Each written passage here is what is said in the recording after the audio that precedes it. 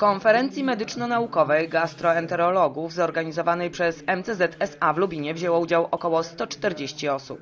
Wykłady dotyczyły głównie schorzeń, działań i profilaktyki układu pokarmowego.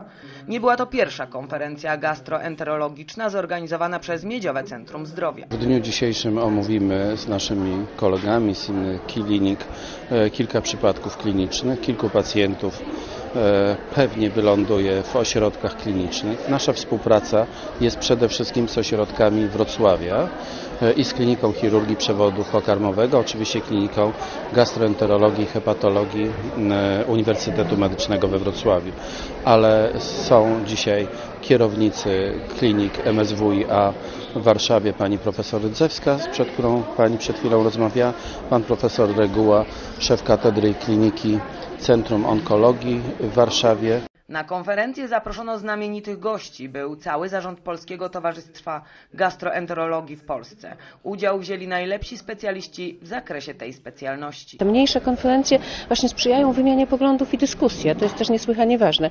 Dzisiaj poruszanych jest bardzo wiele bardzo istotnych tematów, bo i temat mikrobiomu, y, i tematy patologii wątroby, i przypadki kliniczne trudnych pacjentów, które były dyskutowane, więc uważam, że spotkanie niesłychanie ciekawe, niesłychanie ważne. Wiele wystąpień to są e, takie doniesienia e, literatury światowej, e, omawiane są standardy postępowania, czyli taka bezpośrednia nauka również dla nas, bo musimy się stale kształcić.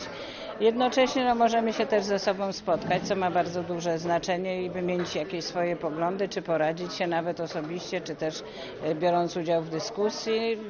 Są, były też przedstawiane na tej konferencji te przypadki, e, które, no, tak jak w jednym z wystąpień było powiedziane, e, uczą pokory wobec i pacjenta, i wobec choroby. Jak mówią specjaliści, blisko 40% chorób zgłaszanych w gabinecie lekarza pierwszego kontaktu wiąże się właśnie z układem pokarmowym. Wiosenna konferencja była więc głównie skierowana dla lekarzy podstawowej opieki zdrowotnej.